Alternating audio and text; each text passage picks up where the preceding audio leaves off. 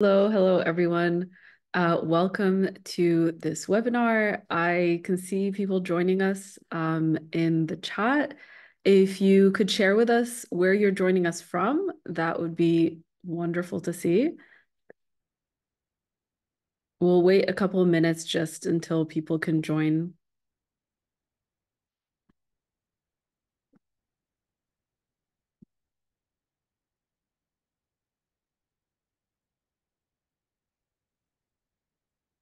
Wonderful. We have people from Indonesia, Edinburgh, Sri Lanka, Hong Kong, Ireland, Italy, Kenya, Canada, London, Sweden, New York. Wow, so many different places around the world.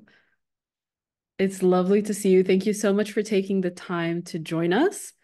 And welcome to the webinar on mental health implementation research in action. Uh, I am your host today. I'm Jihad Bimoussa. I'm a psychologist based out of Morocco and the founder of a youth mental health organization. I am also the uh, youth advisor as part of the Youth Advisory Board of Being. I'd like to start by just thanking our hosts today who have created this space of conversation for us um, the Being Initiative, the Lancet Psychiatry, United for Global Mental Health, and Global Mental Health Action Network. We have some wonderful speakers um, from those organizations as well as from UNICEF and Columbia University. Thank you so much to our speakers for taking the time to uh, come and discuss some incredible reports that have been coming out recently. And thank you as well to Anthony and Aviwa who are working behind the scenes to make all the technical side of the webinar happen as well. So we'll just jump right in and um, start. So the goal today is to really explore and discuss and learn from some of the key evidence and findings uh, from two reports, um, one by the Lancet Psychiatry on implementation research, and uh, one on a year-long study that Be the Being Initiative has been conducting in low to middle income countries. So I will start by first asking some of our speakers to introduce themselves, and then we can go into some of these reports. Um, I want to point to you that there is a Q&A box that you'll find at the bottom of your screen. At any point throughout the presentations, throughout the discussions, please pop in your questions and we will collect them. And at the end of the session, we will have some time to for our speaker, speakers to answer your questions. So I'll start introductions by um, introducing Dr. Beth McGinty, who is the Chief of Division of Health Policy and Economics and Professor of Population Health Sciences at Weill Cornell Medical College. Uh, when she's not, you know, climbing some big mountains, um, I'd love to hear, you know, what else she's doing in her work. Beth, if you could share with us a little bit about your work. Sure. Thank you so much for the kind introduction. Welcome, everybody. I'm Beth McGinty, as Jihad just introduced. I am a mental health policy and implementation researcher. Much of my work marries those two areas. So I'm focused on understanding how we get policies in place and then how once they are in place, we actually uh, implement them as intended to support evidence-based mental health services. Thanks so much for having me. Thank you for joining us. Um, and we also have as the uh, co-lead of the Lancet Psychiatry Commission, Dr. Matthew Eisenberg, who is a health economist and the associate professor of health policy and management and the director of the Center for Mental Health and Addiction Policy. And um, I'd love to hear when you're not visiting every pres presidential library and museum, what else do you do with your time and your work? Thank you, Jihad. And uh, it sounds like somebody found my Twitter account. Um, you can learn more about my tour of, uh, of the U.S. On, on, there. But thank you so much for that intro, and um, thanks so much for for having me today. Um, like Jihad said, I, I'm an economist by training, and my work is at the intersection of economics, policy, and mental health and substance use disorders. I'm really interested in um, how policies come about and, and how they impact both individual and system level um, decision making. Um, I'll pause there. Thanks so much for having me. Thank you so much for joining us. Um, and then from Grand Challenges Canada and the Being Initiative, we have Sahil Chopra, who is a portfolio manager. And I know him from our work in the Youth Advisory Board. He's always so lovely to have. So, can you explain to us a little bit about your work managing investment portfolios within the youth mental health space? Sure, yeah. Thank you so much. And I'm very excited to be a part of this webinar. Um, my name is Sahil, and I work, I'm a public health professional and, of course, a youth advocate. And I support our global mental health portfolio with Grand Challenges Canada, Global Mental Health Innovation. We have funded more than 70 odd innovations across 30 odd countries. And uh, I'm very excited to be a part of uh, a great initiative called Being, which we will talk about today. And I would say like you would really feel good learning about the good lessons and uh, findings. Yeah, I'll pause here. Back to you. Thank you so much for joining us, Sahil. Um, we also have Dr. Milton Wainberg, who is a professor of clinical psychiatry at Columbia University. And I'd love to hear when you're not transforming the youth mental health system in Mozambique, what else do you do in your work?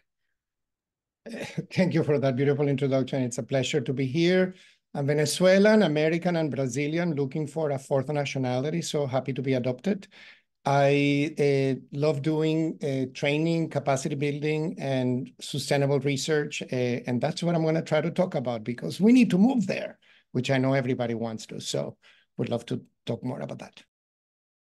Lovely, lovely. Thank you, Dr. Milton. Uh, we also have Malvika Manoj, who is the program officer of MHPSS data and monitoring at UNICEF. And, you know, she lives in the UAE just like I used to. So I already feel a sense of kinship. And she's always fighting for gender equity in global health systems. I'd love to hear what else do you do in your work within MHPSS and especially the area of data, which is so important to all of our work. Thanks, Jihad. I'm not uh, living in the UAE, unfortunately, right now. I'm in New York, but um, I call UAE the home, so my home. So definitely uh, continued kinship with you on that. Um, I'm Malvika Manoj, and I'm a health systems and policy practitioner. And as Jihad mentioned, I work with UNICEF right now on the mental health and psychosocial support um, and data, especially data portfolio. And my primary focus is on generating, collating, and utilizing research, data, and evidence so we can elevate uh, child and adolescent mental health around the world. And very happy to be here with you all today. Thank you. Thank you so much for these lovely introductions. And thank you again for everybody who's joining us.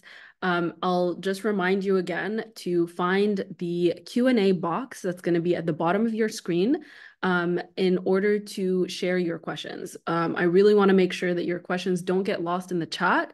Uh, so please share your questions there throughout hearing uh, our speakers share some wonderful insights. Uh, I know sometimes that questions come up and then when we start the Q&A, you might have forgotten them. So, you know, type them in while they're, while they're still fresh and hot. Um, so we will get started first by turning our attention to the Lancet Psychiatry Commission. So I want to hear some of the, the key evidence um, that has come out of that wonderful work and the, and the report. Uh, so I'll pass it on to Dr. Beth McGinty and Dr. Matthew Eisenberg to uh, talk us through it. Wonderful. Thank you so much again, Jihad. I am going to start us off and Dr. Eisenberg will follow. So I am just thrilled to introduce this Lancet Commission on Transforming Mental Health Implementation Research. As you've already heard, I co-led this effort with Dr. Eisenberg, who you'll hear from in a minute. I also want to start by acknowledging by name our absolutely terrific commission team. This effort would not have happened without them. So our, our co-authors and commission members include Maggie Alegria, Rinad Beidas, Jeffrey Braithwaite, Lola Kola, Doug Leslie, Natalie Moise, Bernardo Mueller, Harold Pincus, Rahul Shidhaye, Kosali Simon, Sarah Singer, Liz Stuart. And none of this uh, at all would have happened without our fabulous editor at Lancet Psychiatry, Joan Marsh. So wanted to start by acknowledging that this was a major team effort. And now my role in the next five or so minutes this morning is to introduce our commission at a relatively high level. I'll give you some context of how it came to be and a preview of what some of the key takeaways are. And then Dr. Eisenberg is gonna walk through our five core recommendations in more detail. So this commission was really motivated by the fact that many mental health interventions, which is a term that we in the commission use broadly to include policy and system and individual treatment level interventions. So, intervention with a big umbrella here. We have a lot of mental health interventions that have been shown uh, that they can successfully promote mental health and prevent and treat mental illness. But a lot of them are never fully scaled, by which I mean they never reach the large populations of people who stand to benefit from these evidence based approaches. In one really striking example, the WHO estimates that 75 to 85% of people with severe mental illness in low and middle income countries and 35 to 50% in high income countries receive no treatment at all for their mental health condition. And the implementation gap is even wider when we turn to evidence based prevention uh, or health promotion interventions in the mental health space. So, our motivation in coming together for this commission is really that we need to know how to broadly scale mental health and interventions. And we need to transform how we're doing research, which currently bifurcates studies of intervention effectiveness and implementation strategies to scale up interventions to integrate uh, implementation and scaling into our research on mental health interventions from the very beginning.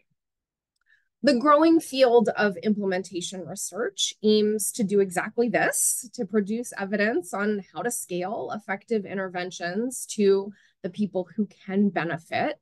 And while progress has been made, uh, there's a lot of uh, evidence and increased attention to implementation research over the past 10 to 20 years in particular. Uh, we as a field have often uh, continued to fall short in terms of really being able to produce actionable evidence that gets effective approaches into the hands of people who need them quickly.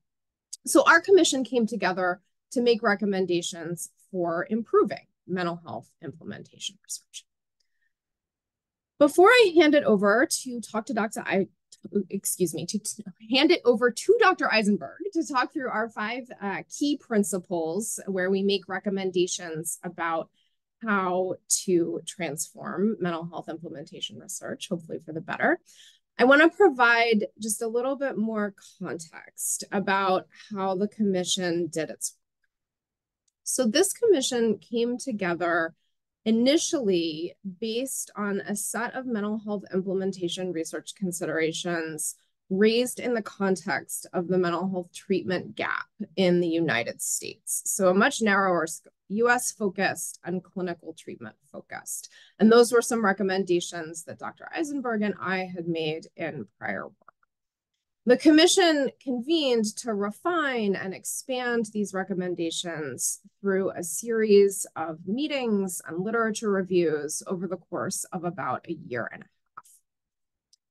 While the commission uh, takes a global health perspective and really prioritized using examples from around the world, including multiple represented on our panel today, which it's so exciting to hear from, I want to acknowledge that the Commission's recommendations are driven fairly heavily by research from high income countries, which is because that is where most mental health implementation research to date has been funded and conducted.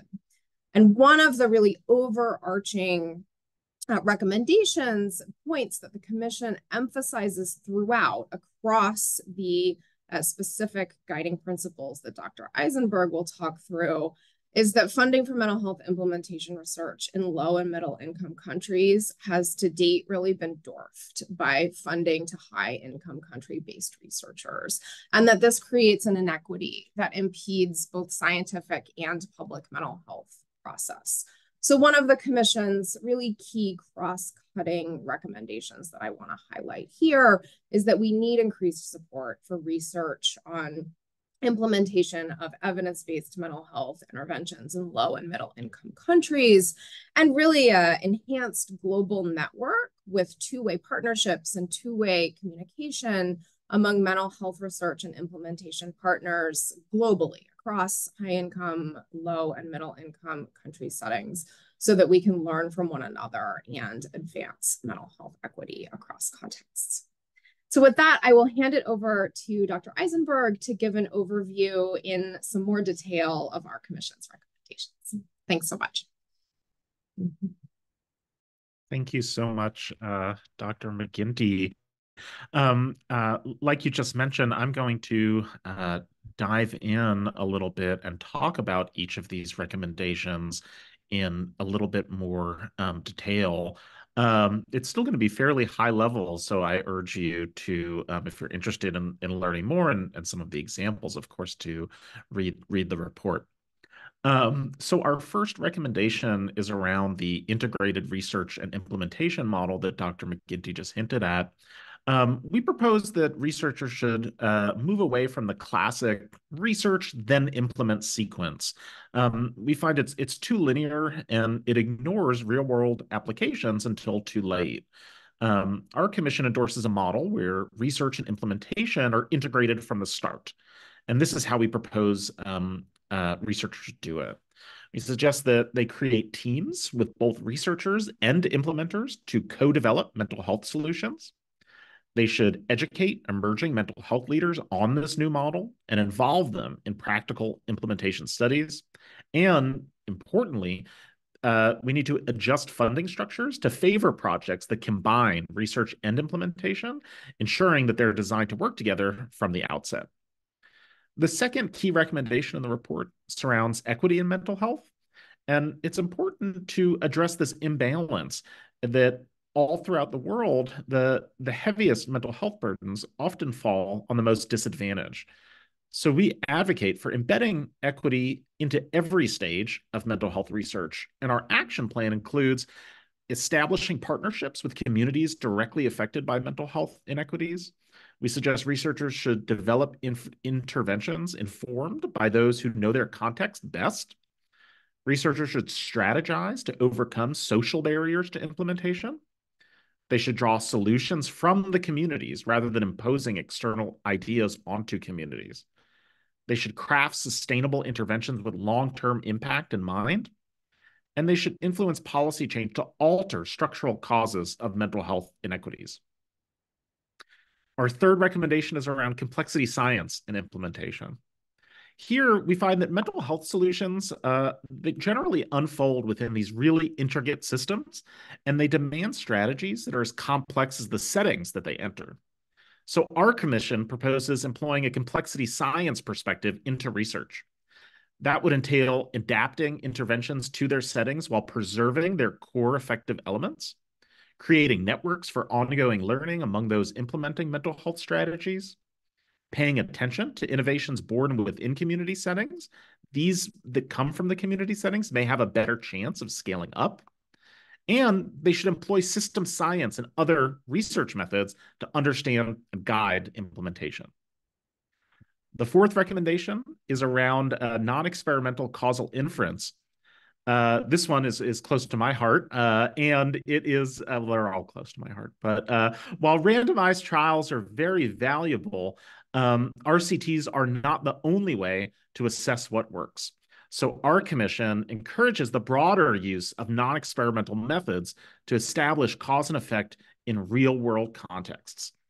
Um, in order to do this, we suggest that researchers collaborate across disciplines to inform study designs that mirror the complexity of real life. We suggest building researcher capacity in non-experimental methods through different educational resources. We want to encourage funders and academic journals to support and publish non-experimental research findings, not just RCTs. And we want to strengthen data systems to gather comprehensive population data on mental health outcomes. The last key recommendation in the report comes from what we call the transdisciplinary approach. And what we mean by that is closing the mental health implementation gap really transcends any single field. Um, so the commission suggests a collaborative, multidisciplinary strategy that engages a broader range of fields, including public policy and economics, and those that aren't traditionally involved in the implementation world. encourage funding agencies and research bodies to promote and financially back transdisciplinary partnerships. We suggest providing joint degrees and certificate programs that can support transdisciplinary education. And we also uh, suggest for redefining academic success to include transdisciplinary contributions. This is really important for many researchers working in academic setting, as these things can influence hiring, promotion, and eventually tenure decisions. So to briefly wrap up this phase of the, of the webinar, our commission aims at uh, starting a conversation on transforming mental health implementation research to better produce the actionable evidence needed to close the implementation gap. Uh, we say that this is an important first step, and moving forward, it will be important to study and refine all of these recommendations based on new knowledge. Thank you.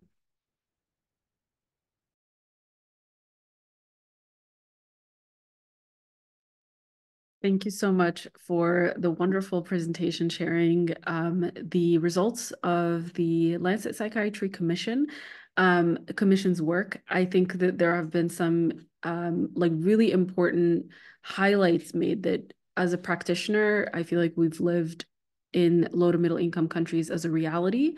Uh, some of the shocking statistics about the implementation gap, and I really appreciate the highlighting of, of equity, which I, I found that every point shared around strengthening data systems and moving beyond um, experimentation models uh, is is enhancing of equity, right? Like, so we're looking at what is the reality of research and implementation within low to middle income settings uh, as well.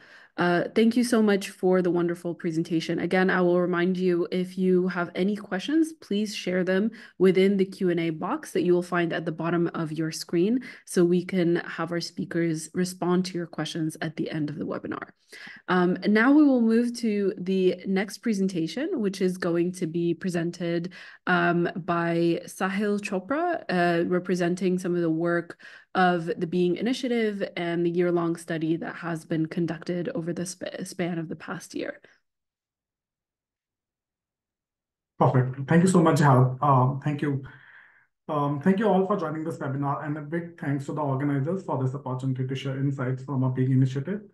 I would say like the timing couldn't have been better as our work closely resonates with the Commission's recommendations for transforming mental health implementation research. We just heard from our esteemed speakers. So in the nine in the next nine minutes, I will just walk you through our findings and demonstrate, hopefully, how our approach aligns with recommendations discussed earlier by our esteemed speakers. So let's start with a quick overview of Grand Challenges Canada, our organization. We are an innovation platform that provides seed, transition to scale, and ecosystem support for programs across three areas of impact, global health innovations, humanitarian innovation, and indigenous innovation. Our innovations challenge traditional approaches by introductions, by introducing novel solutions and enhancing effectiveness of existing, existing approaches. Our mission is simple, to save and improve more lives by 2030 through innovative solutions.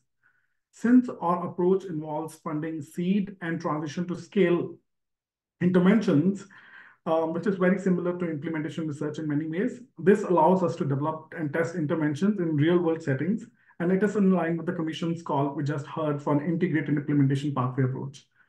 Uh, importantly, our interventions are based on a bottom-up approach and are rigorously measured to understand their effectiveness within complex systems, setting the stage for a scalable delivery. Our global mental health portfolio uh, sits under GCC's Global Mental Health Innovation Pillar and has been a key focus area for over 10 years, showing our strong dedication to mental health support and innovation. In 2022, we started Being, a big, ambitious global mental health initiative with focus on prevention and promotion. Being envisions a world where young people not only feel well, but thrive in the mental well-being. We support research, innovation, and build networks to prevent mental health issues. And Being is hosted by Grand Challenges Canada in partnership with Foundation Botnar, the UK Department of Health and Social Care, the Sciences for Africa Foundation, United for Global Mental Health, and Orygen, which shows that a global commitment towards mental health initiatives. Before I, before I talk about our scoping analysis, I just want to also emphasize our approach. Our approach is grounded in the fundamental belief that bottom-up interventions hold the potential for scalable solutions. we recognize the critical role of equity in mental health, which our esteemed speaker just talked about, so that we intend to create sustainable solutions that ensure mental health support is accessible and effective for all. So in the last one year, we at GCC, we conducted scoping analysis to understand the local mental health needs of young people, what are the gaps and capacities within systems, and what are the evidence base looks like in 13 priority countries. We work with local stakeholders to understand the ecosystem needs and identify most critical drivers. I think that's an important part of our research that we identified critical drivers which impact youth mental health and well-being, both negatively as well as positively. So what we did is, so we begin with, we conducted extensive desk research, uh, wherein we analyze available mental health data. This was important because we want to understand what are the gaps in information and how we can address those gaps. But the important point here is that we took an untraditional approach wherein desk research contributed to only one third of, of our efforts. 70%, or I would say most of our efforts went towards engaging with diverse stakeholders, ensuring a holistic perspective. We involved consultations with government officials, professionals in the space of mental health, education, social affairs, so on and so forth, as well as researchers, researchers, civil society organizations, private sector, and most importantly, young people and individuals with lived experience of mental health challenges. Like, like uh, Dr. Eisenberg said, that we took also a multi-sectoral approach wherein we brought together varied perspectives and expertise which are required to address the complex set challenges intrinsic to delivering mental health interventions at scale. A critical aspect of our process was consensus building among stakeholders to understand, to determine the priority areas. So those priority areas which have guided our investment opportunities have been decided by the local stakeholders. They, and our partners, they use various approaches such as Delphi surveys, theory of change workshops, and gamification methods to facilitate discussions and reach consensus on critical issues. Hence, we have emerged, we have identified key driver area, which I talk about in the next slide, and it guides us our country-specific investment opportunities. Having said that, I, want, I also like to emphasize and acknowledge the efforts that the country partners have made. So this was implemented with the support from the country partners. There were around 26 partners who supported this work in across 15 countries. So this is an important slide. Uh, on the left-hand side, you would see like the important issues that emerged from our findings. Depression, anxiety, and substance abuse, they emerged as significant issues across all countries. However, the six countries Colombia, Ecuador, India, Morocco, Tanzania, and Vietnam, they have underscored the gravity of suicide-related issues. Many countries have expressed challenges in obtaining prevalence data, especially on mental health, particularly concerning young individuals. And on the right-hand side, you would see like this is an important part of our exercise. We identified drivers. So each country teams listed 10 to 15 drivers, and they were agreed by the local stakeholders.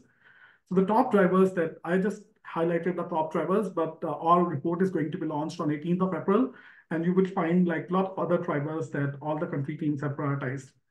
So the for, so the top drivers that I, I just want to talk about is one, the family dysfunction and parenting. They came out as important areas of concern across all countries, but particularly in Colombia, Egypt, India, and Pakistan.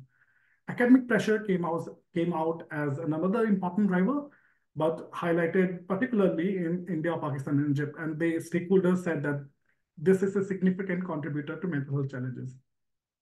Again, the other important driver that came out was mental health literacy and stigma. It was evident in all countries, but however, it emerged from a stakeholder's perspective, it emerged as a top driver in countries like Indonesia, Senegal, and Tanzania.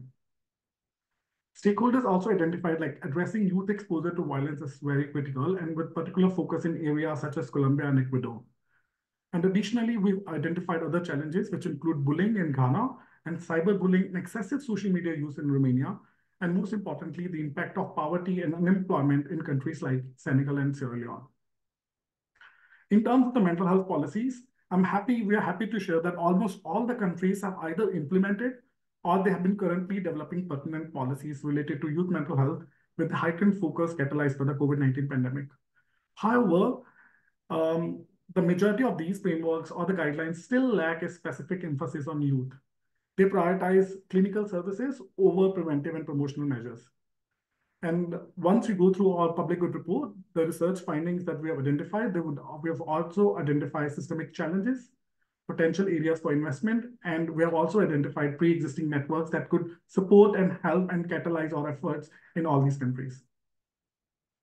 This is our top recommendations Um, very quickly, first and foremost, like our esteemed speaker just said, intersectoral collaboration and coordination is such an important element for mental health space, and it is important for government ministry to government ministries to see, streamline our efforts.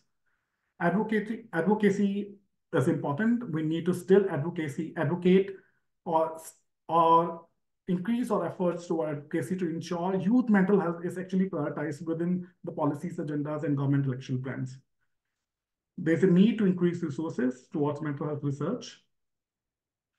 The one recommendation that I would feel like, which is again close to my heart, is the prioritization of mental health prevention and promotion alongside treatment strategies. Integration is a key. So we need, we need to identify ways. So how do we integrate mental health care and services within primary healthcare, cross-cutting programs and educational institutions? Like I said, stigma came out as an important driver. So how do we how do we tackle stigma? How do we ensure a greater mental health literacy and support for health-seeking behaviors? Last but not the least is about the monitoring and evaluation measures to ensure like we are measuring the effectiveness of existing mental health policies and interventions. This is my last slide, and I just want to summarize by saying that the scoping analysis that we did was just the first step of our implementation research. In the next four to five years, we are going to test more than 40 bold ideas, and we could support more than 20 evidence-based interventions that would be ready for scale up. To summarize, our strategy took an integrated approach and based on three pillars, learn, invest, and mobilize. With learn, we mean that we will conduct research uh, with the help of Sciences for Africa Foundation to understand the mental health needs of young people that will guide our funding decisions. And this will be the foundation upon which our actionable policy recommendations will be built. Invest, we would support youth-led and focus organizations that would focus on preventing mental health issues, and we would invest in bold innovations and help them grow sustainably. Mobilize, with the help from United for Global Mental Health, we understood that stakeholder engagement is going to be very crucial in our collaboration. So by building connections, engaging young people, supporting their causes, and seeking knowledge, we strengthen the foundation of our initiative. The mental health of young people is crucial for society's future, as we all know, but it is often underfunded, especially in low and middle income countries. So, but the Being Initiative aims to change this by learning about the challenges young people face, investing in local solutions, and mobilizing support for their well-being. With this, I pause here. Um, back to you, Jihad. Thanks so much. Thank you so much, Sahil, for your presentation. Um, I think that the Being Initiative is a wonderful example of uh, what we've seen um, in the Lancet Psychiatry report. Uh, so it's wonderful to see that on the ground. Um, and I want to kind of bring us back to the Lancet Psychiatry report, but with a with a, focus on low, low, low to middle income countries, with um, a comment from uh, Dr. Uh, Milton Wainberg, who has written a comment on the report and will share with us some of his thoughts today. Thank you.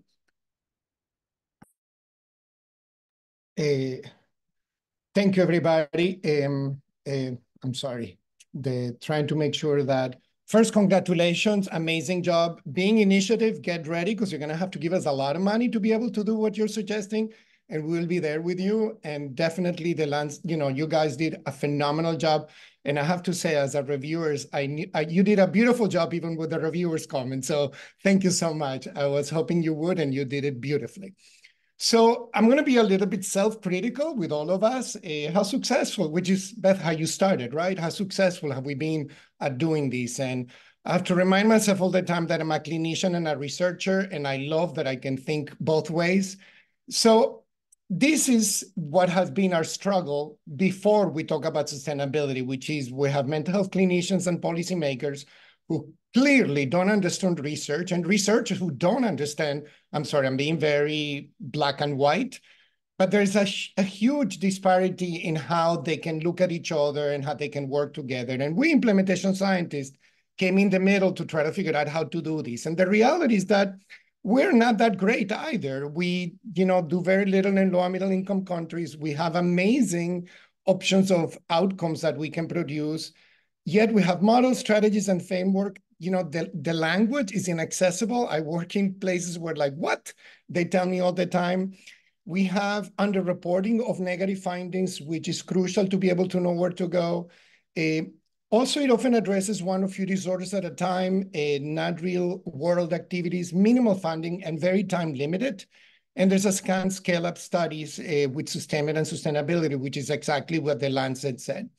So we need to do a little bit of a better job in connecting with both sides to be able to make changes both in policy, as Matthew was saying, and with the researchers to really take us into consideration. We know all of these, and the green is exactly what Matthew mentioned, that we need to include much earlier implementation science. But we know that the global burden, burden of mental illness has not improved since 1990. So all these years of science, and we're in the same place we were in 1990. Something is wrong so we know the, the funding, how it goes and how long it takes. And the funding is so limited, and only research institutes and systems are able to move things forward to scale up. In reality, most things don't move out to be research to practice with sustainment and sustainability. High-income country successes take place within systems, except for medications in high-income countries or antiretrovirals in low-middle-income countries. It never happens in many places, uh, and the reality is uh, anyone ready to pay for what it takes uh, to be able to do that. And Anthony's will be very happy that I'm going to mention the 10% issue. So, so far, very limited fragmented funding, policymakers, HIV funding. There's very little. And who gets funded? It's interesting. So I'm going to quickly tell you about work that we've done, we've published, and we're having a lot of fun and we're moving into other countries where why I'm showing this is because this was through uh, participatory research, community policy, all disorders, staff shifting, step care, stratified, measurement-based, where we can do community screening, we can do mental individual screening, then we immediately can provide care. And all of this is very, very quickly, and I'm gonna run through it because I don't have too much time, but it's very comprehensive, and we're very, very proud how we did this, you know, with collaborations in Brazil, done in Mozambique and now in other countries. And we very quickly can train and provide care for all disorders. And the reality is it's integrated, it's patient services and implementation outcomes. Each provider can assess 4,300 community uh, cases and treat 1,400. So you don't need that many.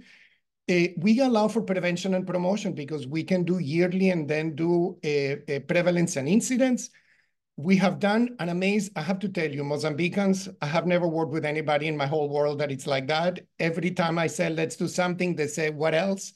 But there's no funding for scale up. We don't know where to go for scale up. And that is a huge problem.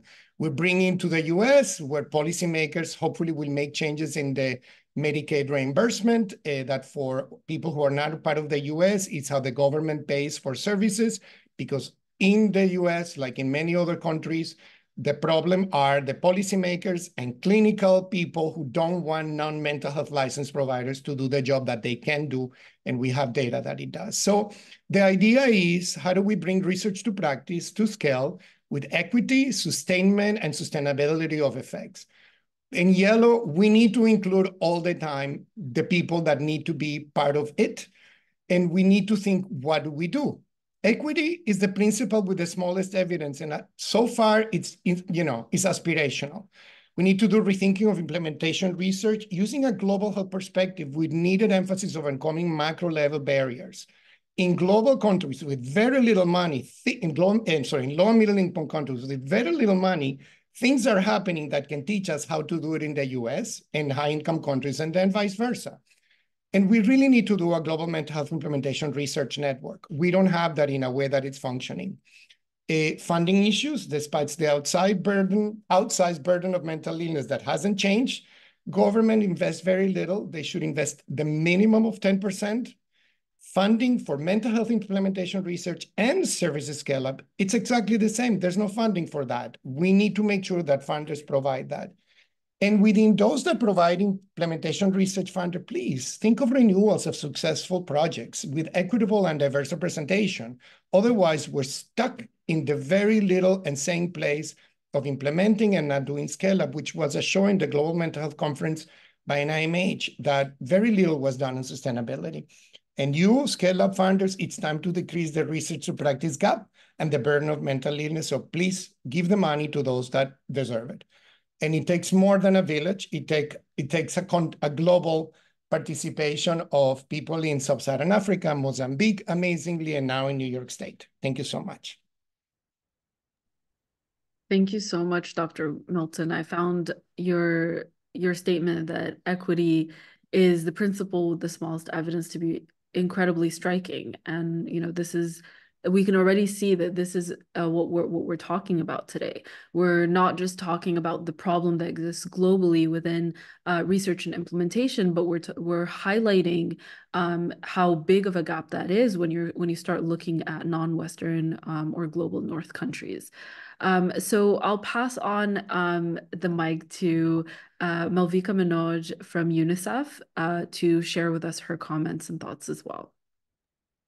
Thank you, Jihad. Um, I'd like to start by congratulating the efforts of the entire commission for the launch of this much needed report, to being on the insightful research shared, and to Dr. Wainberg for laying out the challenges and opportunities that persist in bringing research to practice at scale for global mental health. Um, it is my pleasure to share a few remarks on the importance of these recommendations for our work on child and adolescent mental health. Over the past few years, recognizing the critical needs and demands, including from young people themselves, UNICEF has embarked on a transformative journey to advance programmatic and policy action for mental health and psychosocial well-being. We have developed robust frameworks, operational guidelines, and adapted these across contexts to underpin the evidence-based programming that is needed for children and youth filling critical gaps in mental health support. A major milestone in this journey, guide, guided by the launch of UNICEF's global multi-sectoral operational framework, has been the development and rollout of a costed minimum services package for mental health and psychosocial support, which is deployable across multiple emergencies, both acute and protracted. Through multi-sectoral approach, as many of the other speakers have um, iterated here today, and mixed methods research and data analytics, we have pivoted towards a new era of programming and partnerships that are beyond acute emergency responses or short-term immediate interventions. Quality research, data, and evidence are central to informing these efforts and, and are, have provided a foundation for identifying and filling many of the gaps that persist in mental health and psychosocial support services for young people and their caregivers. As we move forward, and there are ways to go, as speakers have mentioned today, uh, we are keen to continue to embed implementation research across our response to gain better insights into what interventions work for whom, why, when, and how across the entire humanitarian development nexus. For instance, recently, to better understand the underlying factors that influence implementation, we have been undertaking an evaluation of UNICEF's mental health and psychosocial programs. At the heart of these and other similar efforts is a fundamental commitment to strengthen evidence-based programmatic and policy action for youth mental health. Amidst this backdrop, we welcome the recommendations and insights shared by the Lancet Psychiatry Commission on transforming mental health implementation research and iterate the potential these insights hold in advancing mental health globally. For many years, we have been contending with the know-do gap and the complexities that arise from approaching the research to implementation pathway linearly. The, the report's findings, as well as the research outlined here today, outline a clear roadmap to advance action to tackle these critical research gaps that persist in global mental health. But as Dr. Wainberg mentioned, it will take a community to come together and act on it. At UNICEF, we have implemented multi-layered and multi-sectoral mental health strategies using the socio-ecological model and across the life course of children and young people. To give one example of it, our engagement with pivotal partnerships, which include efforts like Being, as well as through interventions such as Bloom or the Building Lifelong Opportunities for Mental Health initiative, exemplify this approach. For instance, UNICEF, in partnership with WHO, developed the Bloom intervention utilizing transdiagnostic and contextually adaptable strategies to reach younger age children with evidence-informed psychosocial support. As part of this initiative moving forward, UNICEF will embed implementation research to assess ways to optimize reach, impact, inclusivity, and scale. Similar efforts are already underway across our regions, including the Middle East and North Africa region, as well as East and Southern Africa, to embed uh, implementation research into our programmatic efforts. We underscore the recommendations from the Lancet Committee to contextualize mental health implementation research for different contexts, grounded by the unique histories and local epistemologies that exist in each country.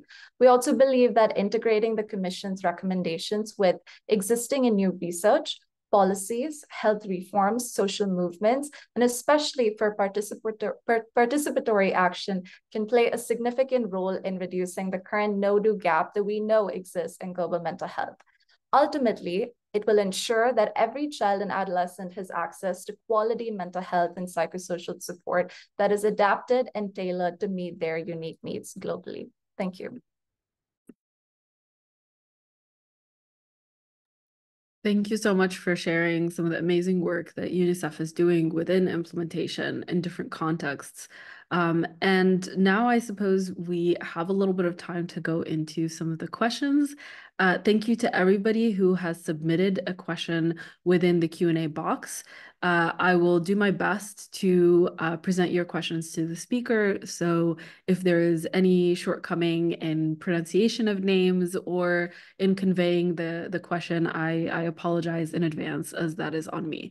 Um, so we will start um, first by uh, taking a question um, that has, you know, received several questions, and I think it can be addressed to Sahil about some of the opportunities that exist um, in order to uh, partner and collaborate on Im implementation, and if there are any opportunities uh, for mental health implementation research.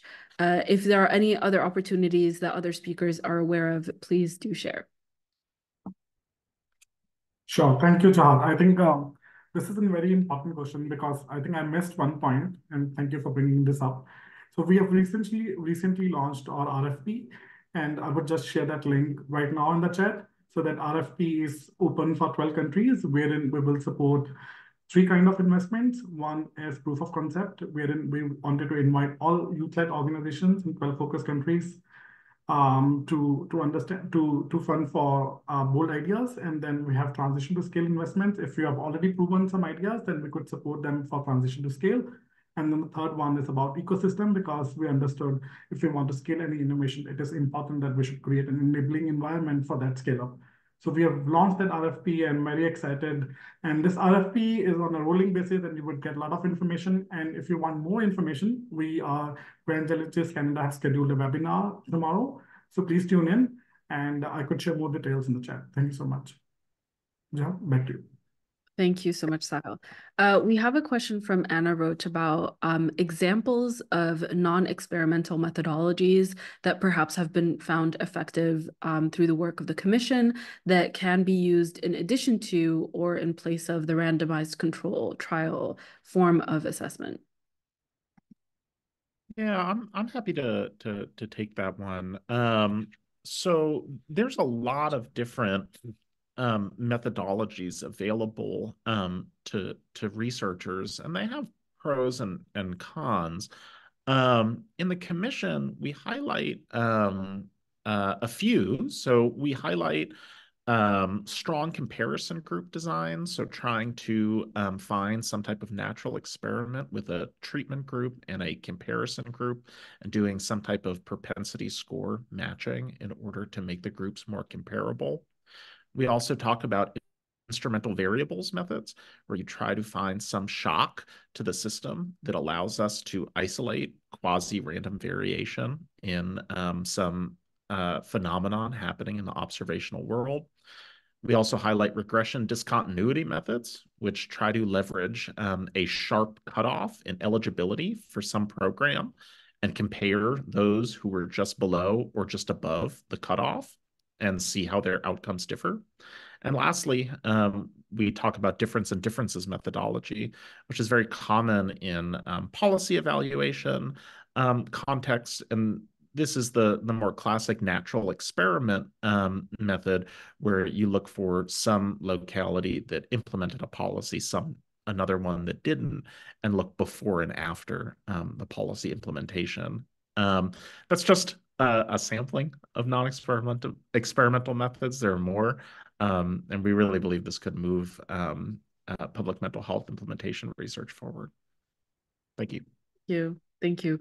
Um, we have a question uh, that has been submitted anonymously about how uh, a lot of the conventional approaches towards funding mental health initiatives and interventions tend to be project-based, which creates a culture of grant-seeking behavior and grant-seeking researchers um, who have almost like cracked the code of how to get grants um, and are more focused on fulfilling donor expectations rather than uh, having a vision of long-term scale up.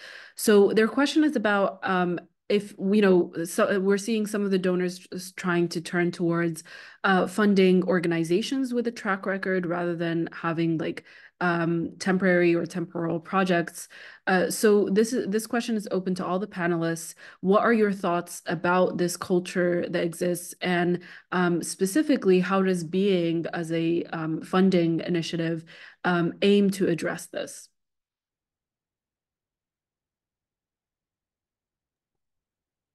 I could share a few things here. I think this is a very important question, and I may not have perfect answer to this but I could share about our efforts to, to make sure like this is not the case. For instance, under Being Initiative, we, we put only one conditionality, which is that any organization which is applying to our grant should have been legally registered in that country or should have some kind of engagement with that country. So that is only conditionality that we have put down as an eligibility criteria for us. So we are, as a Grand Challenges Canada, we have been taking efforts to ensure like and most of our organizations that we support are, are startups and are very young organizations that we have been supporting. Uh, and we have been also trying to engage like a scale up is important. So how do we create collaborations and partnership with scaling partners, with donors, institutional donors? But again, the issue lies with the sustainability. I think it is important that we should also find scaling partners who could sustain this interventions either in the form of public sector or the private sector. So I would pause here, um, but I think this is a very brief response from me. Thank you. Over to you, Sarah. Thank you. Um, is there any other speaker who'd like to jump in and uh, share their thoughts on, on the question?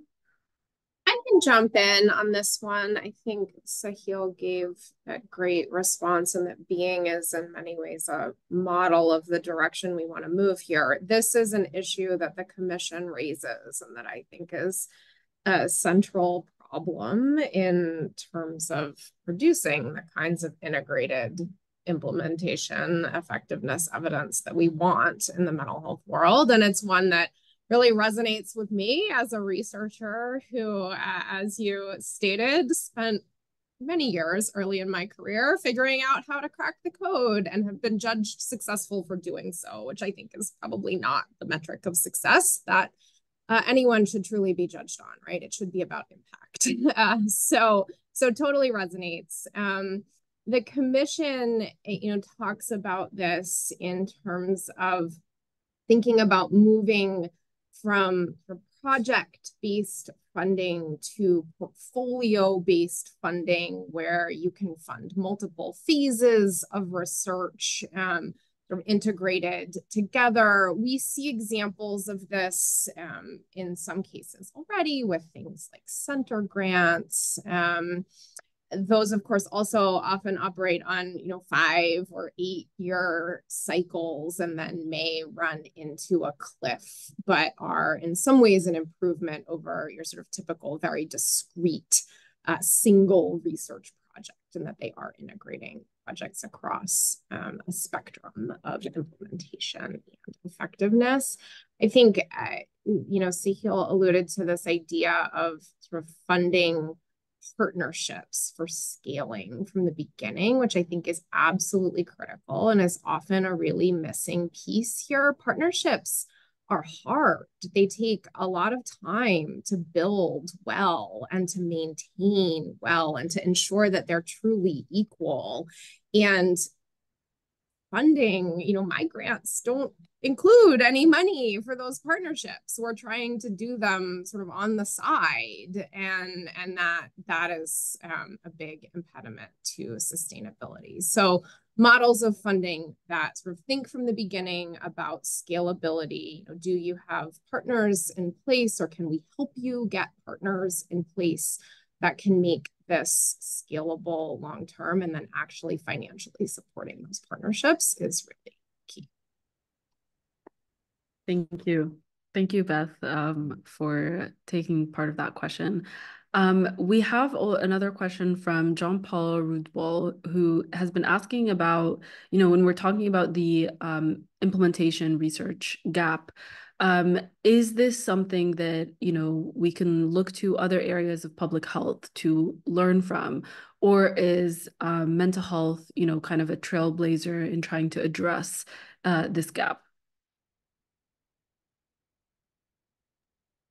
I can start us off on that one too. I think we can absolutely look to area, other areas of mental health. One of the things the commission struggled with uh, throughout writing this piece was is this recommendation specific to mental health? Um, and where we ultimately came down was, you know, particularly important in the mental health context. And I think mental health is a trailblazer for a reason that I'll get to in a moment.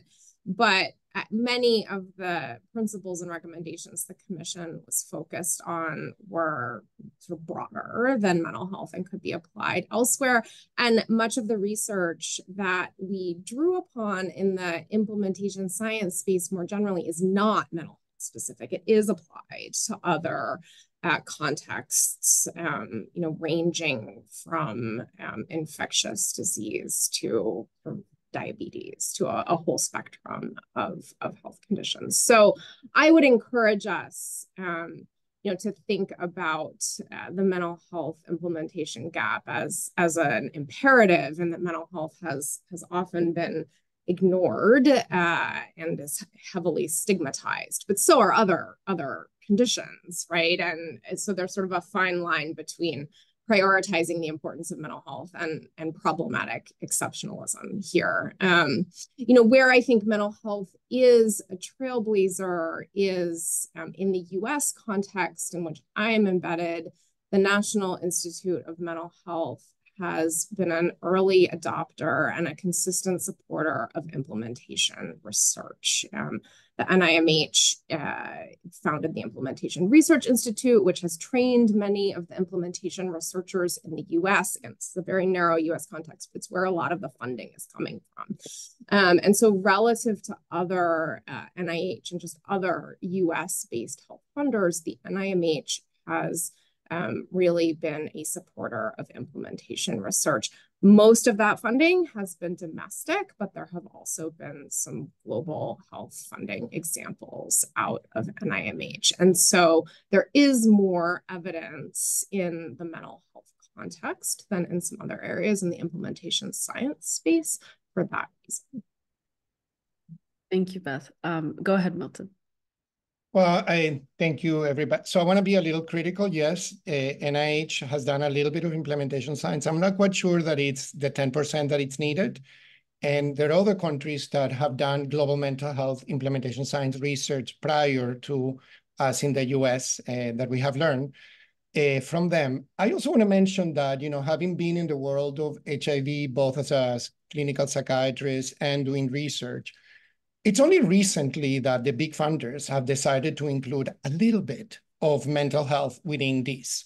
And, you know, hopefully I will not get crucified for saying this out loud. It's such a small amount and it's not really accomplishing what it's supposed to. And this is years after we know that mental health is one of the worst comorbidities to have in HIV, like in many other diseases. So the problem is that we are like an appendix of medical illnesses, of health illnesses, and yet the funding that we get, it's minimal, and we have to struggle to get it. So it's time for the funders who have the scale-up funding to make sure that the 10% that it's it's there and it's not just you know the 0.1 to 2% that it's what's being offered.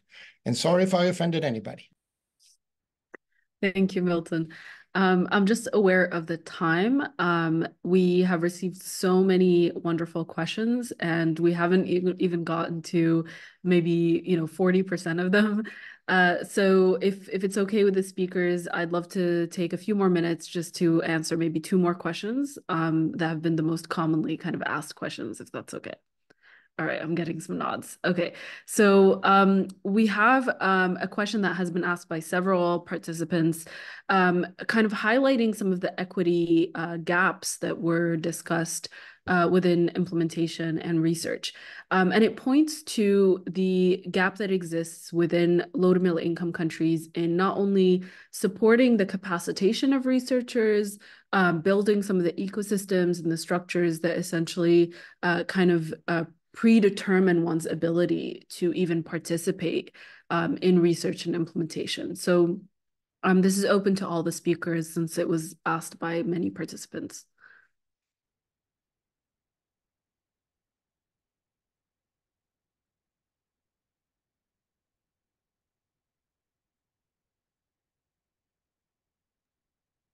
So I can start us off. I'd love to hear from other folks as well who are more in the global health context in a day to day than I am. I think that it's exactly right in terms of what the challenges are. And so, you know, in thinking about how to overcome that, it is really uh, an amplification, I think, of the Commission's call to emphasize funding for mental health implementation research to low and middle income country based researchers and institutions in structures potentially that um, truly have equitable sort of two-way communication and supports. You know, I think often we think about, oh, like these high income countries and research institutions will sort of swoop in and show you how to do it. And I that's a terrible attitude that doesn't work um, and is alienating. Um, and there is certainly more need for all of that infrastructure. I think the kind of global mental health implementation network that we called for and that Milton called for is uh, potentially part of a solution here where there really is two-way learning. High income countries doing mental health implementation research have an enormous amount to learn from low and middle income countries. And one of the examples the commission highlights, which is near and dear to my heart, is low and middle income country based mental health implementation researchers have done a much, much better job at thinking about policies and health system strengthening in the context of implementation. Whereas in the US, in particular, implementation research has been very zeroed in on sort of individual level treatments and how to scale those um, with often sort of provider level implementation strategies. Not that those are not important, um, but they are fairly downstream and are not addressing some of the social determinants of mental health that are really critical to um, equity. So I think that that sort of network with with with two way communication and um, structures in place to support it is really what's needed. Thank you so much for highlighting that, Beth. Um, Milton, we'll go to you next. Uh, Beth, thank you for taking that away from me, but you know I cannot emphasize it more. Uh, so I started my global work in Brazil doing HIV prevention, and uh, you know Karen McKinnon and Lydia Gouveia represent sort of like the history of what we've been doing. It's funny how we call capacity building because we're providing capacity to them in research, but the reality is that I've learned much more from any of the countries that I've worked with than anything that I have. It sort of like has been a stimulus to think together what are the best ways to implement it. That's exactly what implementation science is, right? Is the context, is the adaptation, and figuring out how to work it out. And we researchers, clinicians from every area have to figure out how to implement it accordingly. So the context is what determines that. And I think that our respect for that is what has brought global mental health to be so significant. Because sometimes in the US, we have not been that respectful of communities. We are, you know, very far away from really doing total participation and uh, partnerships with communities.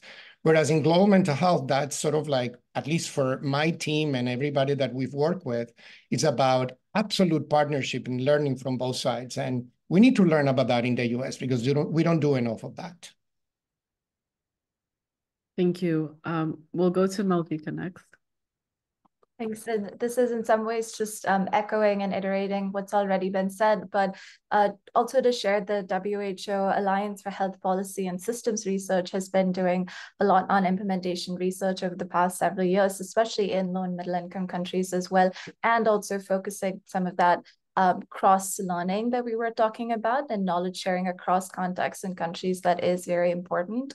And also um, in the context of that knowledge sharing, I think transdisciplinary implementation research can play a very important role because uh, mental health is something that cuts across everything, right? It cuts across, you know, ecological and climate change, as we're seeing now, it cuts across almost every dimension of health that we see. So really taking a whole of systems approach where we're bringing together researchers, practitioners, community organizations, community leaders. And when we talk about youth mental health, for example, especially young people themselves as um, important agents of change and important agents um, of creating this, uh, the research agenda, conducting the research process, um, and shaping implementation research priorities moving forward, I think can play a very important role that um, we all need to play a role in facilitating. Thank you. Thank you so much for that. Um, and uh, I think this is such a great note to kind of conclude on because we're talking about, you know, uh, having that that pipeline. It's not just research to implementation, but rather all the the rich knowledge that comes from implementation science and understanding the context, uh, which requires addressing the gap on both sides as well as in between. Um, so uh, I'm I'm cognizant of the time, so I want to uh, thank everybody for participating. I want to kind of conclude on just some key takeaways, just one quick sentence from each uh, speaker. Um, if we haven't gotten a chance to get to your question, um, uh, just thank you for submitting it. This is a topic we could continue to talk about for many, many hours. Um, and we have kept a record of, of your questions and hope to be able to address them in the future. Um, you will find all the information for the reports shared within the chat, uh, the links where you can find them so you can explore the work further. Um, and I'll, I'll start us off um, by like one key takeaway, and then maybe we can go to each of the speakers. Um, personally, I've been uh, struck by kind of highlighting some of the strengths that can come out of low to middle income countries when addressing the research to implementation gaps and how uh, we can learn from low to middle income countries how to strengthen the entire system and take a systems view to our work. Um, I'll pass it on to Beth. Yeah, thank you. Perhaps building on that, I think the thing that uh, has struck me throughout the commission process and that struck me even more in this conversation is how much enhanced global partnership around mental mental health implementation is needed even within what is in the grand scheme of things sort of a teeny tiny field. Mental health implementation research we have uh, silos uh, across contexts that are problematic in in a really significant way. And and we need to break those down and uh, work together. Thank you. We'll go to you next, Matthew. Thank you. Um, I think the thing that I was uh, most struck by is the the things we we talk about in the commission are, are, really hard to do. It's really hard to break down this traditional pipeline. It's really hard to um, uh, co-create um, uh, uh, research together and in an integrated way. But the thing I'm struck by is um, there were so many people here today that want to do it, um, both my fellow panelists here, but also everyone in the audience. So there's so much um, energy around making these changes that even though um, they're very hard to do, I'm struck with a level of optimism uh, for the future that we'll be able to to tackle them. Thank you. Uh, we'll go to you next. Yeah, thank you so much. And I would say the one thing that really struck me is about mental health equity. I would say, like, I think there's a need to decipher this term and there's a need to like implement and see what does it mean in terms of the actual sense. I think the path that if we really want to work on mental health equity, it lies with the communities. Like, how do we hear from the communities and devise solutions from their perspective? So this is, I would say, like uh, my key takeaway, and I would say mental health equity. Yeah, perfect. Uh, I'll pause it. Over to you, back to you, Jeff. Thank you, Sahil. Um, oh, great. We have we have a, a clear statement from Milton. We need a minimum of 10% of the funding. Uh, do you want to expand on that? No, I think every everyone has been saying what else needs to be said, but we need a minimum of 10% of the funding anywhere there's funding. Otherwise, we're all going to be lagging behind always.